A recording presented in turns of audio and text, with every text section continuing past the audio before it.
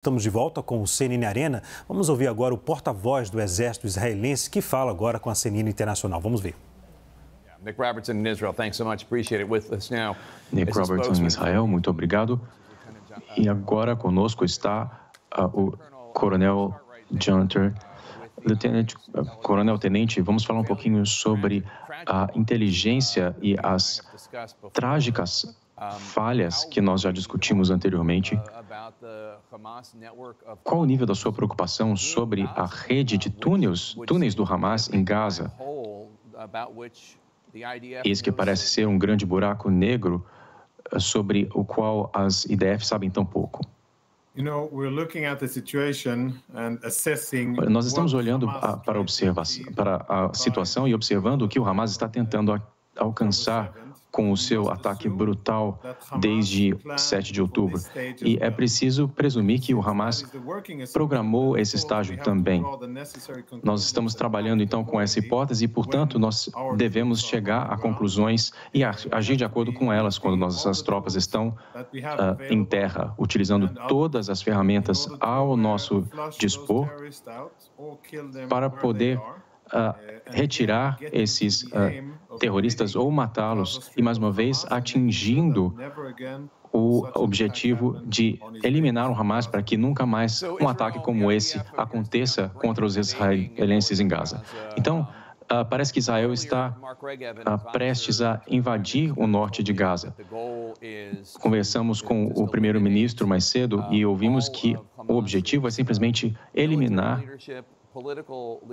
toda a liderança política e militar do Hamas e também todo o governo do Hamas. Esse é de fato o objetivo? Sim, o objetivo uh, Yahya Sinwar e todos os seus tenentes e todos aqueles que são parte do Hamas e que apoiam a operação terrorista e os ataques que foram executados anteriormente são mortos-vivos, todos eles. quer estejam do lado logístico ou administrativo, ou quer estejam lavando dinheiro, qualquer que seja a sua função, se são membros do Hamas, eles têm um futuro muito uh, sombrio à sua frente, que é ou morrer ou se entregar. São essas as opções e nós vamos desmantelar o Hamas, as suas capacidades militares, como eu disse, para garantir que isso jamais aconteça novamente. As IDF hoje elevaram o número de reféns uh, em, com o Hamas de 159 para 199. Há quem diga que esse número seja então ainda maior que isso, 250, mas qualquer que seja o número, uh, eles uh,